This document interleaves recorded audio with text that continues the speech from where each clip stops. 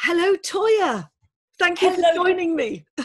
It's so good to see you. It's been so long. Oh, absolutely. But listen, Toyah Willcox, you are a celebrated musician, singer, songwriter, actress, producer, author. You have released over 20 albums, written two books, appeared in over 40 stage plays, and 10 feature films.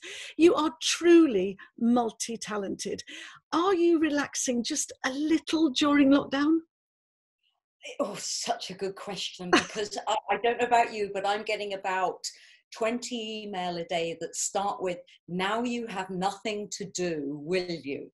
I've never been busier. Yes. Um, we, we know we can't get the cleaner in. We're, we're cooking our own food. We, we live in a market town, so we were always able to pop out to a restaurant or a cafe at lunchtime, and that saw us for the day. So we're now, um, we've gone fully vegetarian. Oh, Uh, I cook at lunchtime, and it's it's quite a meal. It takes about two hours to prep. Then we have cleaning jobs for the day, and, and then I have about twenty internet jobs to do, like doing voiceovers for adverts, voiceovers for computer games, films for t- um, TV programs. It's it's busier than ever, and I don't know if you're discovering this. I'm now not only the artist, I'm the camera person, the microphone person, the makeup person, the hair person. It's just, oh, I know, I know, it's extraordinary, is it? I am exactly the same as you, very, very busy. Um, but I have to say, we're lucky that my husband Patrick helps me with the technicals. I noticed Robert Fripp, your wonderful husband, helped you. and I've also noticed your amazing dances on, on a Sunday. I don't know if you just stick to a Sunday, but they are wonderful. Strictly is going to come knocking at your door because they've been an internet sensation. I know it started. Um, I'm supposed to be on tour now with Hazel O'Connor, which and it broke my heart that we've had to move that. So I thought about three Sundays ago I'll wear the costume, and I wanted my character because I always create a character for a tour, even though this is a rock tour. I wanted my character to be like a, a demented beauty queen. So I actually had a prom dress, and it's phenomenally beautiful. And I invented this kind of real strictly dance and it flew we're about to hit a million on it a million views Wow. which is a first for me so we've decided every sunday Congratulations. thank you we've decided every sunday before lunch we will post a new film Oh. and my goodness this coming sunday we have a humdinger a humdinger Yes. It's, oh, but funny. I will tune in. But you, what I love is that you take it, both of you, take it very, very seriously. I mean, all that thing with the rose and your mouth, and you just, you just go for it, which is, which is how it has to be and the best. you know you never play the humor never play the humor and with my beautiful husband i don't have to because he's the most brilliant guitarist through his fingers you know he can count he can play any speed he can't do it through the body. So trying to teach him the tango it took seven days. And even then he was getting it wrong. And even then he dropped me. Oh, um, I did it's- notice.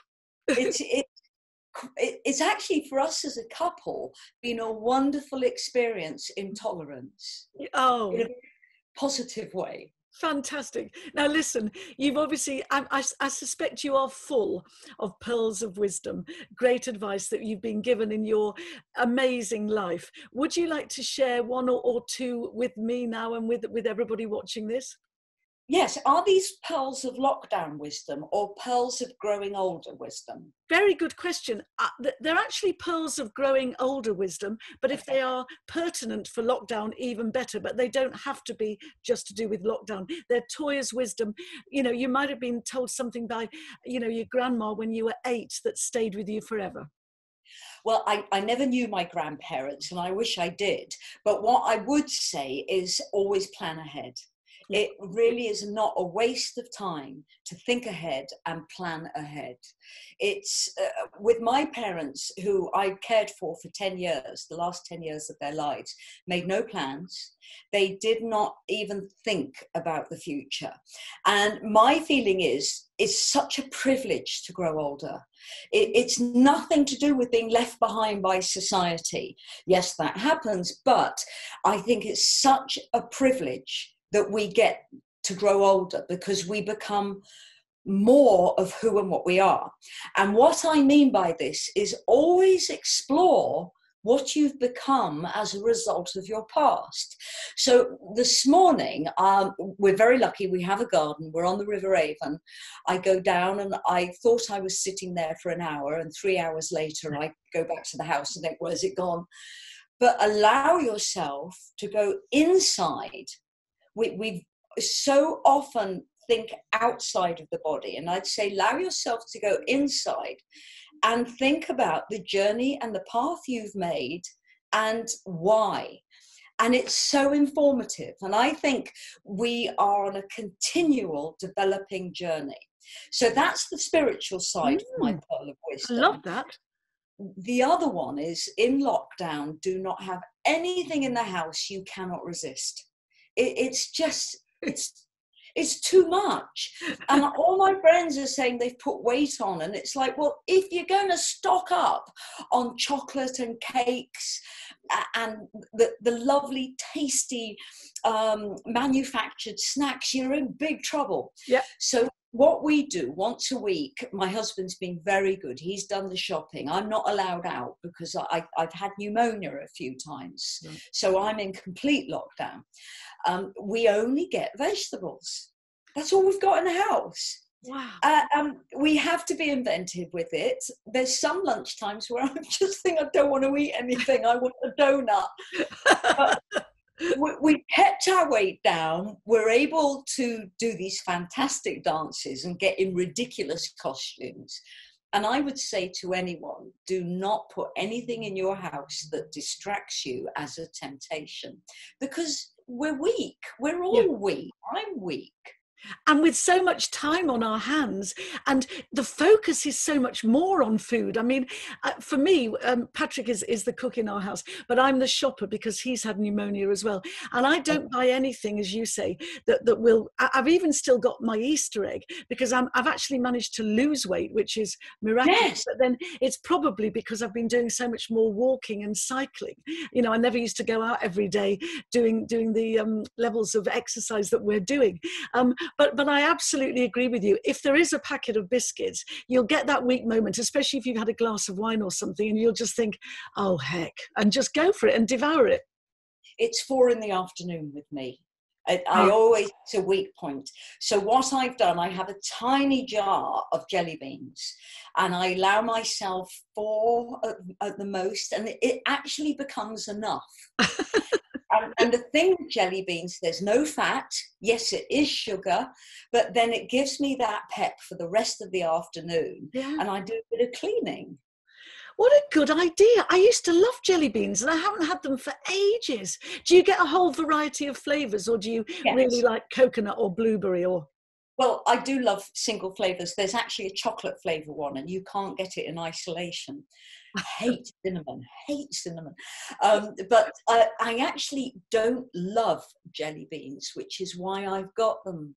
So I can give myself the sweet kind of boost with something I know I'm not going to sit down and eat the whole lot. Mm. This has always been my dieting secret.